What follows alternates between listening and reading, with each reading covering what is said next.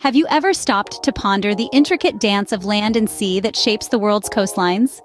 Today, we delve into these natural masterpieces, discovering their formation, types, and significance. The coastlines, where land meets the sea, are indeed nature's canvases, painted with the broad strokes of geological time. They're not static, but dynamic, ever-changing landscapes molded by the forces of nature.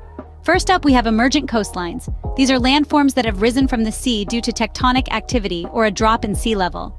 Imagine the Earth's crust, flexing and shifting like a giant muscle, thrusting the land upwards. This process forms high cliffs, terraces, and marine platforms, creating dramatic landscapes that leave us in awe of nature's power.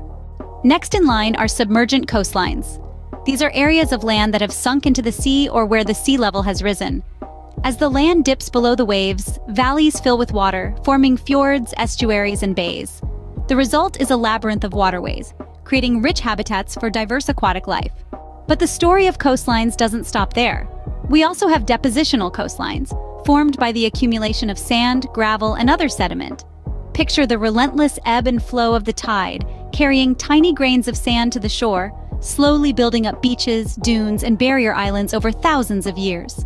The final type of coastline we'll explore today is the erosional coastline.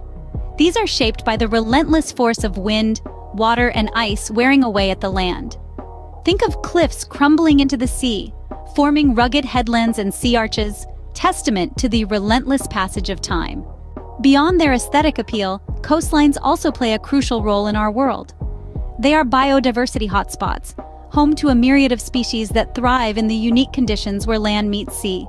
They also act as natural barriers, protecting the land from the full force of the ocean. In conclusion, coastlines are dynamic and diverse, shaped by the complex interplay of geological forces. They come in a variety of forms, from the dramatic cliffs of emergent coastlines to the complex waterways of submergent coastlines, from the sandy expanses of depositional coastlines to the rugged beauty of erosional coastlines. They are not only beautiful, but also vital, providing habitats for numerous species and acting as natural shields against the sea.